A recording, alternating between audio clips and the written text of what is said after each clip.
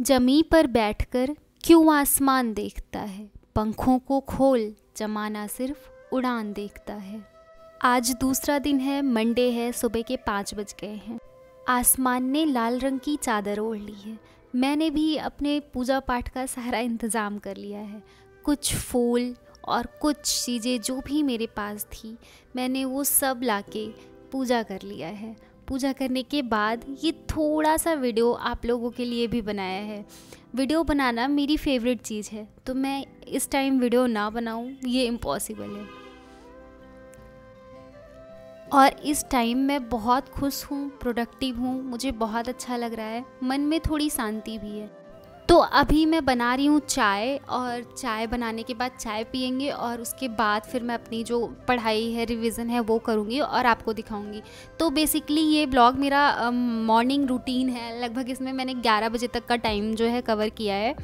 तो वही उतनी ही चीज़ें दिखाऊँगी। और एक चीज़ और, मैंने एक नया चैनल बनाया है। The channel name is more of ray जो आप मेरे चैनल पे जाओगे तो वो दिख जाएगा।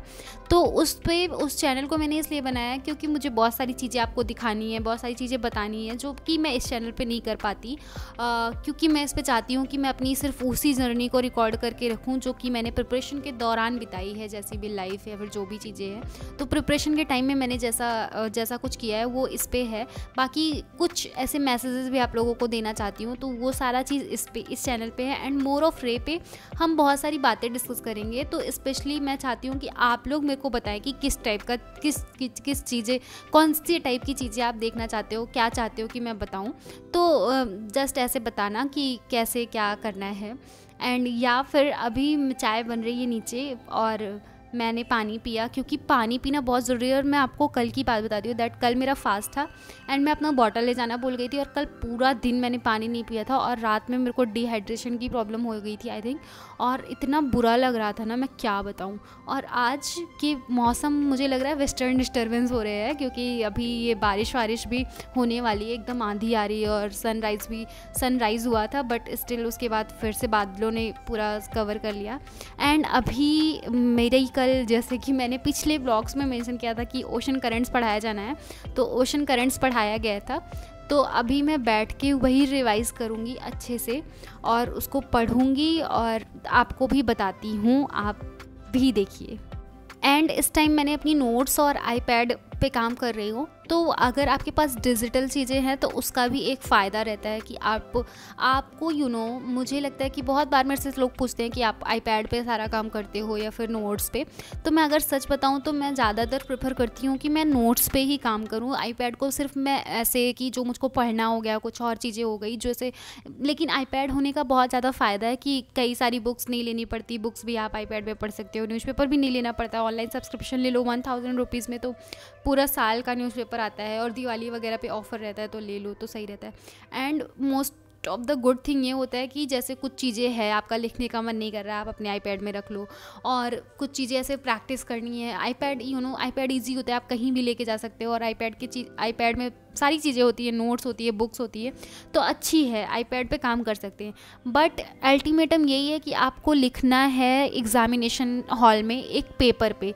और यू you नो know, मैंने ये पिछली भी ब्लॉग में अपने ज़िक्र किया है कि जब आप एग्ज़ाम देने जाते हो ना तो वहाँ पे एसी वाला रूम एकदम अच्छी चेयर अच्छी टेबल बिल्कुल भी नहीं मिलती। जो गवर्नमेंट स्कूल होते हैं, उसी में हमारा सेंटर जाता है और स्पेशली जो यूपी यूपी से है, उन लोगों का तो सेंटर ऐसी ऐसी जगह जाता है ऐसे ऐसे स्कूल में जाता है कि क्या ही बताओ मतलब फ़ैन भी चलते वक्त पता नहीं खड़ खड़ खड़ करके आवाज़ करता रहता है। एंड मैं अभी ऐसे बहुत सारे एग्ज़ाम दी हूँ, जो ये ग्रुप सी वगैरह के थे, वो भी एग्ज़ाम दिया है मैंने।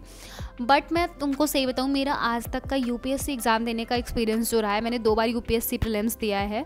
दोनों बार का एक्सपीरियंस इतना अच्छा रहा है, जो भी लोग आते हैं वहाँ पे एग्ज़ाम दिलाने, जो भी ट्विटर रहते हैं, वो इतना अच्छा ट्रीट करते हैं, मैं आपको क्या बताऊँ। एंड बाकी जगह पर मैंने ऐसे कुछ high court Allahabad high court R O का एग्ज़ाम देने गई थी मैं। इतना बैडली ट्रीट करते हैं लोगों को मतलब उनको बोलने का भी सेंस नहीं होता कि कैसे बोले वो। एंड वो मतलब आप, पता नहीं क्या ही समझते हैं पेन वेन पता नहीं क्या, वो उन लोगों को नोटिफिकेशन भी नहीं पता रहता है एंड हर एक चीज़ पे सीन क्रिएट करते रहते हैं। तो मुझको नहीं अच्छा लगता और किसी एग्ज़ाम पे इतना ज़्यादा कंफर्टेबल नहीं फील कराते, जितना यूपीएससी के एग्ज़ाम्स देने जाओ तो फील कराते हैं। बस यही रहता है कि वहाँ पे स्कूल्स अच्छे नहीं रहते हैं मतलब सीट वगैरह अच्छी, ज़्यादा अच्छी नहीं रहती है। तो गर्मी में बैठ के आपको एग्ज़ाम देना होता है, क्योंकि मई में एग्ज़ाम होता है और गर्मी में पूरा गर्मी लगती रहती है और बहुत दिक्कत होती है ये सब। तो फिर उस हिसाब से थोड़ा प्रैक्टिस करते रहना चाहिए, गर्मी में भी रह लेना चाहिए नोट्स पे जितना हो सके उतना लिखना चाहिए। मेरा तो यही मानना है, बाकी आप लोग अपने हिसाब से कर सकते हो। तो मैंने जो है अभी एक सेशन कंप्लीट कर लिया है रिवीजन का। रिवीजन करने के बाद थोड़ा सा वो जो मैंने भोग लगाया था ना चरणामृत तो वो था तो वही मैं खा रही थी।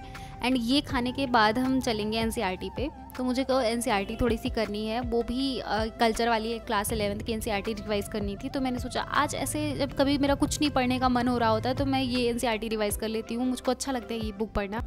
एंड मैं सच बताऊँ तो आज मेरा लाइब्रेरी जाने का भी बिल्कुल भी मन नहीं है और देखो, हो सकेगा तो शाम तक मूड बनेगा तो जाऊँगी, नहीं तो नहीं जाऊँगी। बाहर बहुत ज़्यादा तेज़ हवा चल रही है और मेरे रूम के जस्ट सामने एक पेड़ है और उसकी वजह से मतलब इतनी अच्छी हवा आती है, बहुत अच्छा लगता है बट ठंडी में उतना ही प्रॉब्लम होगा।